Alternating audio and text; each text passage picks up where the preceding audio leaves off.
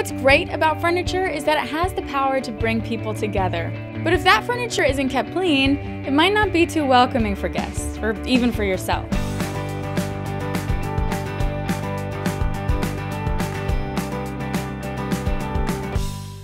We have some tips on extending the life of your furniture and keeping it friendly for everyone.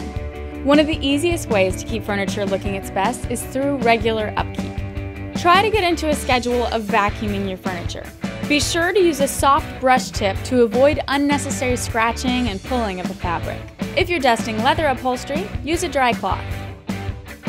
All of our fabrics can either be cleaned with a water or solvent-based cleaning solution.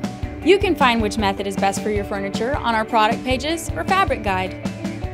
For water-based cleaning, it's best to start with vacuuming your furniture. Be sure to get between cushions and seams to avoid rubbing in dirt later in the process.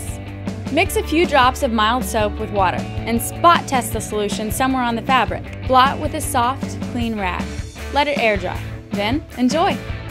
If your cleaning calls for using a solvent, you'll start the same way as the water-based method by vacuuming your furniture. Next, open a window to make sure your space is well ventilated. Spot test the solution on the fabric to make sure it's safe to use. Cover wood legs and floors so they're protected from unwanted contact with the solvent. Then, clean the area that needs the attention. Let the solvent set in for about 5 to 10 minutes. Give your piece time to air dry and voila! Your furniture should be ready to go. Preservation and persistence are key in taking care of your wood pieces.